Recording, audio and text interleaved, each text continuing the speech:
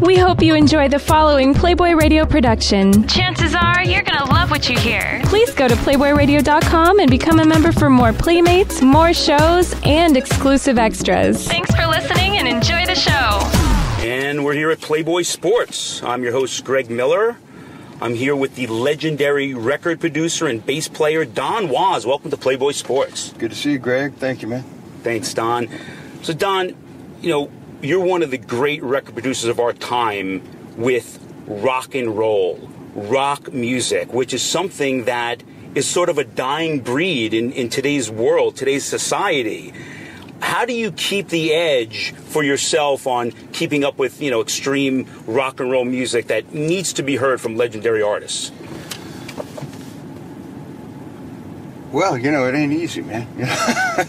these these aren't really like great times for rock and roll. Uh, I, I, just produced a, a, band called Vintage Trouble, and uh, they're like a killer rock and roll band. Uh, they're they're on tour. They're opening all over the world for AC/DC. So that means they get up in front of hundred thousand people every night. Hundred thousand people who haven't heard their songs, don't you know, never heard of these guys, right. And are there to see AC/DC and would like this concert that portion of the concert to start. And night after night after night, uh, this band has people dancing and screaming and singing along at the end, which is unheard of for an opening band yeah. in a stadium show. And uh, and we're having a rough time selling records on them. Right. It's there's no there no radio stations to really play what they do, and it's a weird time like that. You you know but you know, it's great. It's great though how you have put it out there. And I've seen that you you you look for a new artist, right? You're you're searching for those next great rock artists, aren't you? Yeah, someone's got to. You know, I mean, uh, you just ultimately you want to make great records. Yeah. Here's the thing: music means a whole lot to people. We kind of know that, you know, but really, what it does is, uh, you know, on a neurological level, it it opens certain synapses and it, it helps you it helps you make sense out of a life that's very confusing. I mean, none of us we, we don't know why we're here, right? Right. know? And and music, really good music, can help you deal with that, right? You know, with the mysteries of life, and uh, uh, so I, I think it's an essential thing for people, and I just try to make really good records. You know, and part of the problem with music today, if if you see things like the VMAs that was just happening, you know, and I just want to put it out there. I want to go on record, and I just want to say, Kanye West sucks. Okay, and it's guys like that that are hurting music for the future, and the energy that's being spread there is not one that's conducive with like a positive energy. I mean, the guy's like a narcissist and he's up there ranting and raving about award shows. Let's get to the music. I mean, the guy does, isn't even talented. Does things like that bother you when you see events like that go on where they're not focused on music?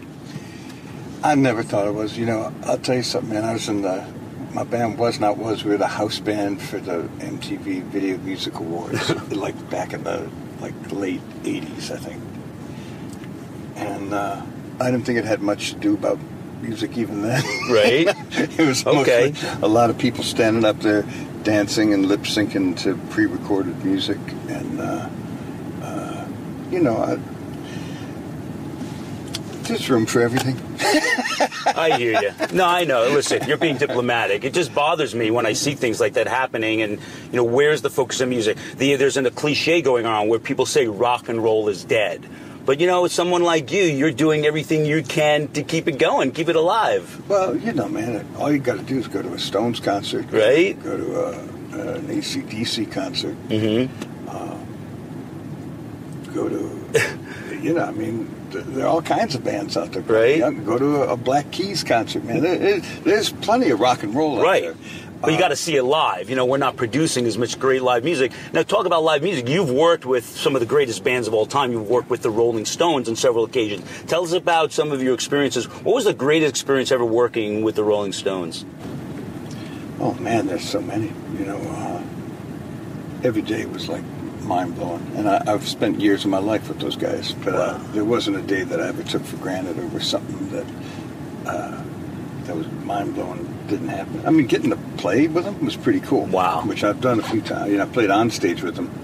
Uh, uh, it's just, I think they're they're issuing it now. Uh, we did an album called Stripped, uh, which was like an unplugged album, maybe 1994, mm-hmm. and uh, and one of the songs we did was uh, "Shine a Light," and that on the original record, Billy Preston played organ, and, yeah, and I think Nicky Hopkins played piano on it. So they didn't have just they just had Chuck Leavell, and he mm-hmm. couldn't play both parts. So I played the organ part, and I went on stage with him at, uh, at the Olympia in Paris, and I'm trying to think where else, in Paradiso in Amsterdam. We, we cut it in a few places to get to the final thing. And that was a trip, man, to play Billy Preston's parts with the Rolling right? Stones on stage. Uh, That's awesome. What a, and and then also you've worked obviously with um, you know Paul McCartney, and you just recently did something with Ringo Starr. Didn't you win a Grammy last year for your efforts? Yeah, I, I won an Emmy. Oh, an Emmy. I'm sorry. Right. I'm so, right. I was right. You won Grammys. Won, you won your first Emmy for the TV production of working. That, that Beatles uh, CBS tribute. oh, right. Beatles, that was amazing. That was a that was really a trip, man. Yeah. So you worked with the Beatles, and you just won an Emmy, right? Working at the. Uh, what, what was that about? Working on TV? Well, it was a CBS. It was a, uh, a tribute to the honoring the, the, 50th anniversary of their first appearance on the Ed Sullivan Show. It's called "The Night That Changed America." It's a bunch of artists doing Beatles songs. Yeah, and then Ringo and Paul came out and played, and then they played together, which was really a trip. To, You know, they did "Hey Jude," and Ringo said it was the first time he played it since they recorded it. Oh my God! Because he, he, he never played it live anywhere, and he did he didn't sing it, so he doesn't do it in his show.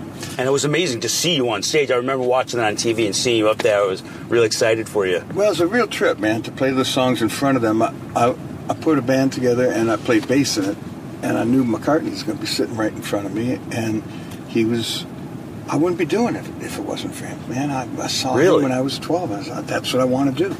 And so I wanted to I wanted to.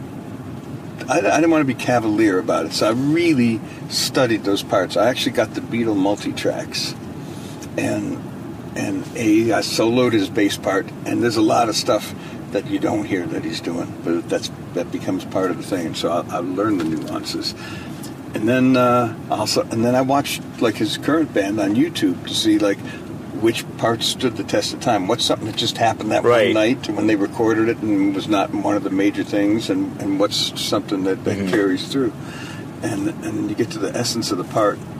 And I really rehearsed it, man. I, I had, like I said, I had the multi-track. So once mm-hmm. I learned his part, I took his part out and I mixed the Beatles without the bass. And I sat there in my bedroom like I did when I was 12, and I played along with the Beatles. Oh and and I tried to get the parts down. And uh, I was just amazed, man. He's so he's so great, man. His like the bass part to something, the song something. It's like Mozart, you know, man. It, just it works. Yeah. It's it's he's playing the bass notes, but he's playing like the lead part too, right. and he's doing percussive stuff. It, it's it's kind of the same thing. James Jamerson did that in an R and B way in, uh, on the Motown records, mm-hmm. you know. But very few guys, man, cover all those. Three bass players. Really take to get everything Paul. Well, you know, you're talking to a fellow musician here, yeah, so yeah. I get the vibe, man. I know what you're talking about. Yeah. That that is some some exciting stuff.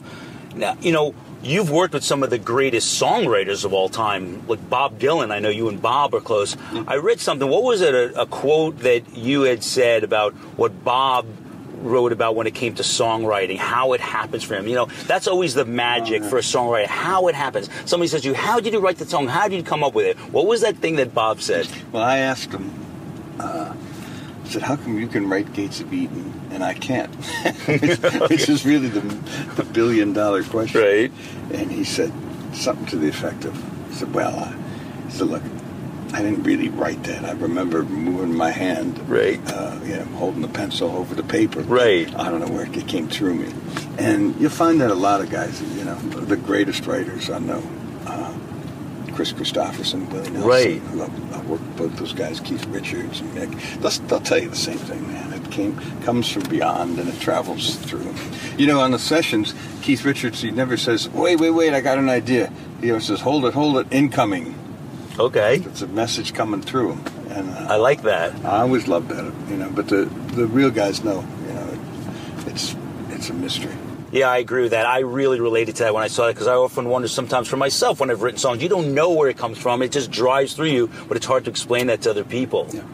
Now, you've also worked with, and let's get to the point here of one of my favorite bands of all time and some of my favorite musicians that come from the Grateful Dead. Of course, there was Jerry Garcia, who passed away back in 95. Did you ever get a chance to work with Jerry? No, I never met him. No? No, no. Uh, I would have liked to. Yeah, I know Dylan had done a bunch of things with him. Bob Dylan loved him. Yeah, but Bob considered him to be a very soulful, musical guy. Yeah. But didn't you ever get a chance to work with Bob Weir? Well, I, I guess we can talk about it now. I couldn't talk about it for a while, but um, yeah, I got to know Bobby and, and, and Mickey and Billy, and they, they wanted to keep going after the those July concerts, Yeah. the Fare Thee Well shows, but Phil didn't want to keep playing with them, and uh, so they were looking. They called me. They were looking for ways to keep going. And to be honest with you, I, I was kind of hoping uh, uh, maybe I'd take Phil's spot, but Did they ask you? well, I went up there. I did play with them.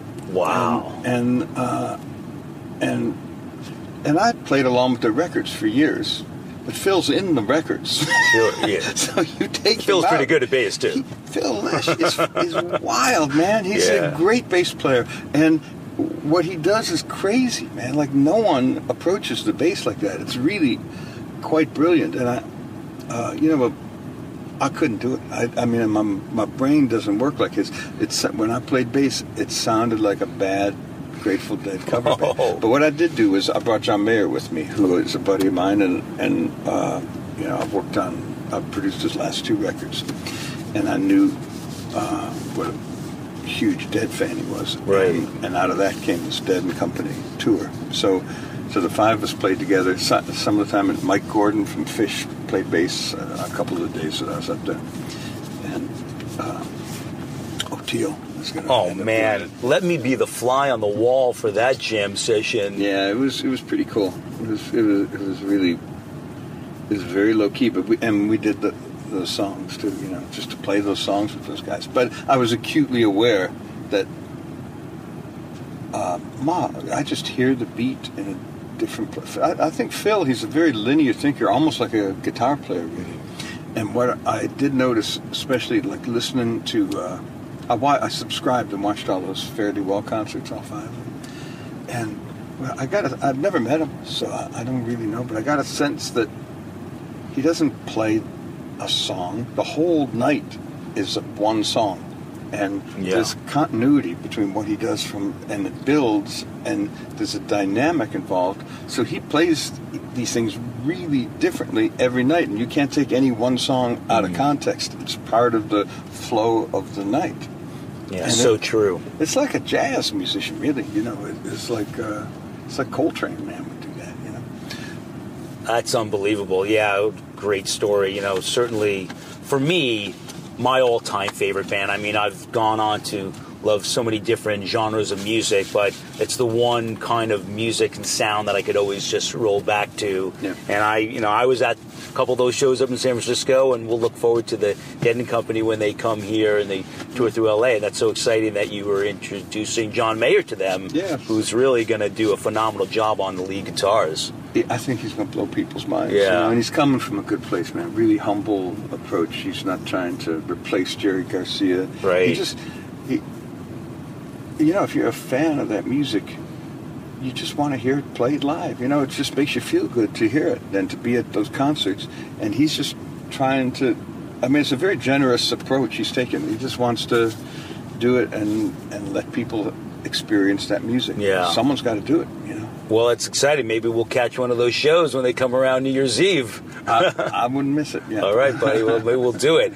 And you know, lastly, I know that you've got some great projects still ahead of you. Obviously, you're doing an incredible job handling the Blue Note. Well, I'm real proud of what we're doing at, at Blue Note. Uh, it's the world's greatest jazz label, and we got a, a really vibrant, robust roster of young musicians. They're not all young. Charles Lloyd and Wayne Shorter are the, the, the legends of, of, of the of the field, and they're both on Blue Note, making great records.